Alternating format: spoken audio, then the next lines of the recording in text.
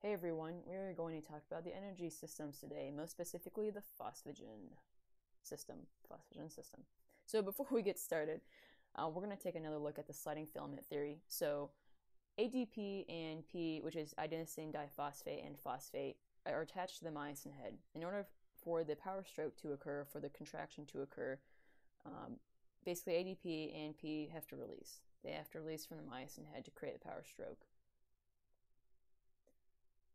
So our goal here is to make ATP because we need ATP in order to basically make the myosin head release from the actin and for to prepare for another another uh, power stroke or, or binding.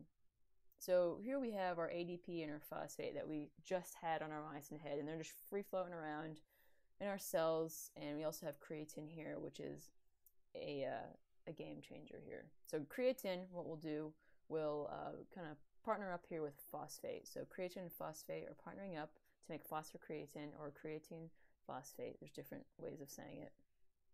And it will go along with ADP, adenosine diphosphate, and with the help of creatine kinase, will turn into ATP or adenosine triphosphate. So I like to think about it this way.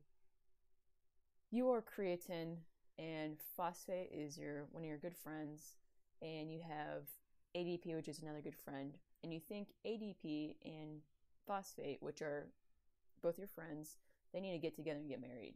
You're like, man, they, they really are awesome together. You think they would be. So basically, you take phosphate and you bring him or her to meet ADP, and with the magic of love or creatine kinase in this example, they get married and they become one. So they're ATP, adenosine triphosphate.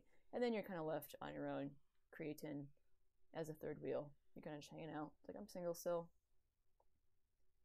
So, another way that we can create energy is we take adenylase kinase reaction or the myokinase re- reaction. And this is super, super similar to uh, your phosphocreatine deal here.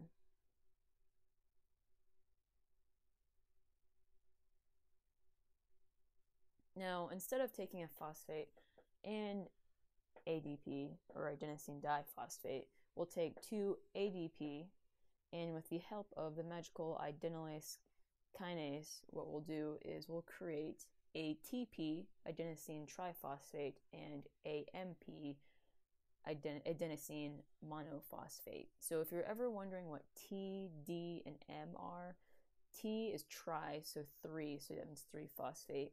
D means di is di, which is two, which means two or two phosphate, and M is mono, which is one or one phosphate. Now, if you notice in this equation and in the one before, the arrows go both ways. That's because they can both get married and get divorced. Okay, it goes two ways, goes two directions there.